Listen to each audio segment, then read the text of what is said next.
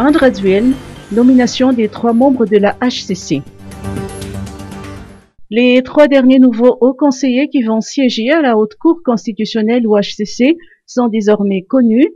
Le décret portant leur nomination relevant du quota présidentiel a été publié hier. Ronjo Lucette Rail Manansu, secrétaire général du gouvernement et ancien membre de la Cour électorale spéciale au CES. Vlodmirina Christiane Rakutbejan Giamarzon, magistrat judiciaire de premier grade et avocat général à la Cour de cassation. Iranev Fidel Mbal, président du tribunal administratif d'Antiranan, sont nommés au poste de haut conseiller. Par ailleurs, le décret 2021-384 publié hier a également approuvé l'élection des six membres de la HCC issus de l'Assemblée nationale, du Sénat et du Conseil supérieur de la magistrature au CSM. La Haute Cour constitutionnelle compte cinq femmes et quatre hommes.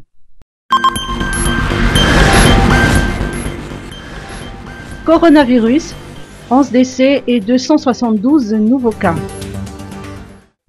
À Madagascar, le coronavirus a fait 11 décès dans les dernières 24 heures, dont 5 à Nalamag, 1 à Tsinanan, 3 à Bouent, 1 à Nalanzrouf et 1 à Sofia.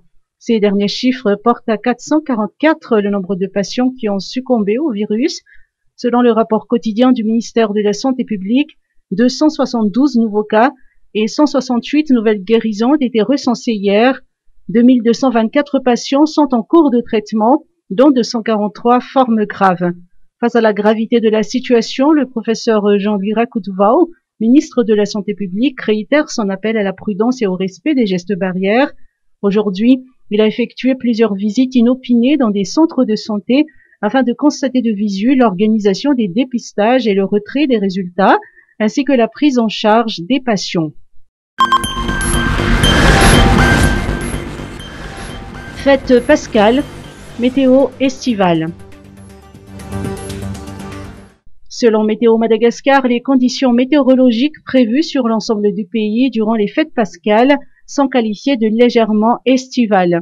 Le soleil sera au rendez-vous dans la moitié nord, tandis que la fraîcheur sera de passage dans la moitié sud. Le dimanche 4 avril, des activités orageuses sont prévues en fin d'après-midi ou en soirée à Nalamag, Vaknakaraj, Itas, Bonglav, Mangour, Sofia, Saint-Bran. Le lundi 5 avril, des averses localement orageuses sont prévues dans la soirée sur Analamag, à Lochamangour, Betsbourg, Sambran et ses alentours, Vadva Fidvnand et Bouint. La mer sera globalement agitée sur la côte sud.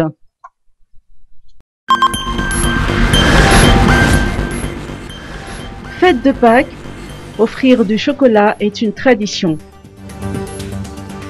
œufs, chocolat, repas familial, le week-end de Pâques rime souvent avec joie, allégresse et plaisir. Offrir du chocolat lors des fêtes de Pâques est une tradition. Riche en magnésium, le chocolat est un élément essentiel pour renforcer l'anticorps. Euh, J'ai décidé de faire plaisir à des personnes qui me sont chères. Je, je suis venue acheter des chocolats chez Robert pour euh, marquer euh, cette période de Pâques qui va arriver.